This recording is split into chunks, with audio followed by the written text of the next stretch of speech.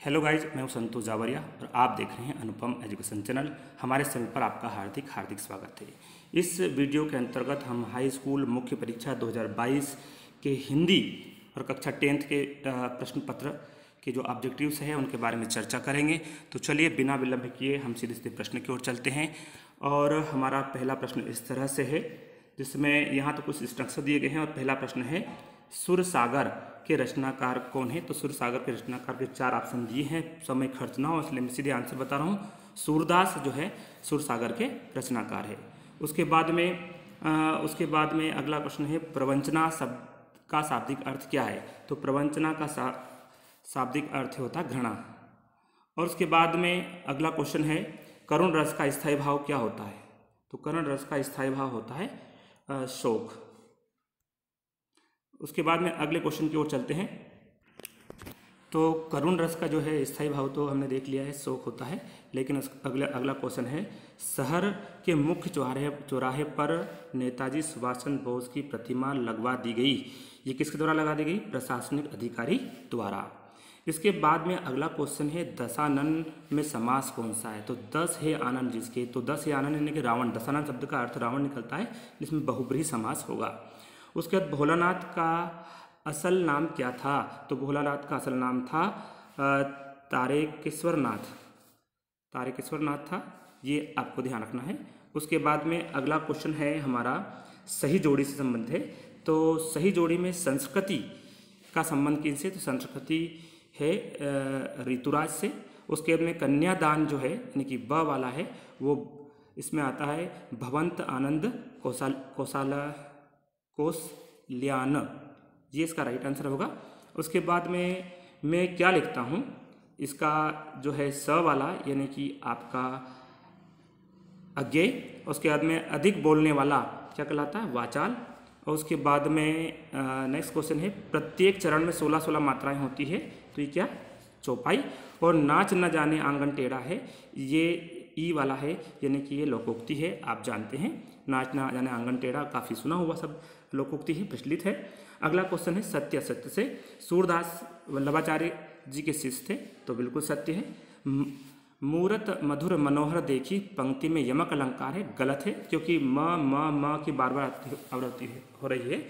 जहाँ किसी वर्ण की बार बार आवृत्ति होती है वहाँ अनुप्रास अलंकार होता है, इसलिए ये असत्य है। उसके बाद में भगवान साक्य मुनि अपना धर्मोपदेश प्राकृत भाषा में देते थे तो ये भी सत्य है। और न्याय के अनुसार आचरण करना क्या कहलाता है? मतलब न्याय करना न्यायशीलता कहलाता है, सत्य है। और मृदंग एक तरह का वाद्य यंत्र है, सत्य है। और एलिजाबेथ द्वितीय जापान की रानी थी, इसका आंसर आपको बताना है, कन्फ्यूज़न में है, इसलिए आपको ध्यान है सत्य है, असत्य ही, बताना है। और एलिजाबेथ बिल्कुल वैसे मेरे से सही होना चाहिए, लेकिन फिर भी आप एक बार कंफर्म कर लें तो बेटर होगा। और मुझे कमेंट में लिखकर ज़रूर बताएँ कि इसका राइट आंसर क्या है। दुख में न चाँद खिला रात आने पर। तो यहाँ पर आपको लिखना है, दुख में न चाँद खिला, बसंत रात आने पर। ये सही रहेगा। लेखक स्वयं प्रकाश जी का जन्म इंदौर में हुआ था, सत्य है। सत्य के वाला ये वाला इंदौर आपको इसमें ऑप्शन भरना है।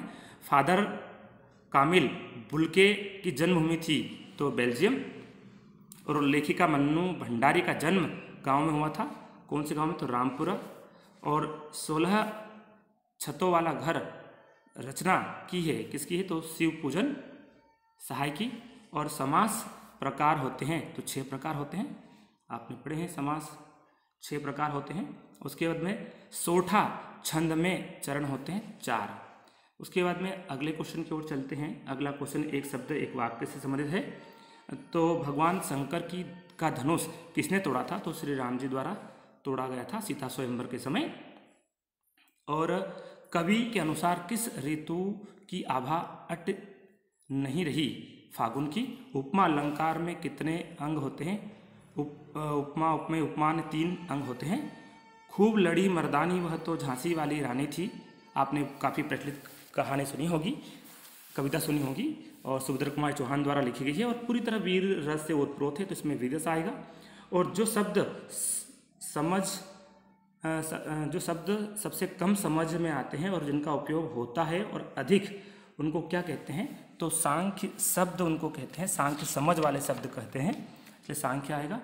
और जापान के हिरोशिमा में कौन सा बम गिराया था? तो आपको पता है जापान के हिरोशिमा में 6 अगस्त को परमाणु बम गिराया गया था और नौ अगस्त में नागासाकी में गिराया गया था। ध्यान रखना, ये जी के वाला क्वेश्चन भी है।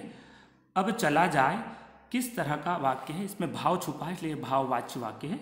भाववाच्य अगला क्वेश्चन है जो आप देख पा रहे हैं, इन अगले क्वेश्चंस को हम विस्तार से बाद में लिखेंगे। फ़िलहाल समयाभाव में आप केवल प्रश्न पत्र का अवलोकन कर सकते हैं क्या क्या प्रश्न आए थे? और डेफिनेटली जिन जो छात्र इसमें परीक्षा में सम्मिलित हुए थे, उन्होंने, उन्हें अच्छे उनका पेपर बिल्कुल अच्छा गया होगा और अच्छे नंबर प्राप्त होंगे, क्योंकि प्रश्न पत्र काफ़ी सरल था। तो इस तरह से आप इसमें गध्यांश सब प्रसंग सहित व्याख्या भी पूछी गई थी और एप्लीकेशन था और ये निबंध था। हमारे इस वीडियो को देखने के लिए बहुत बहुत धन्यवाद साथियों। जय हिंद, जय भारत।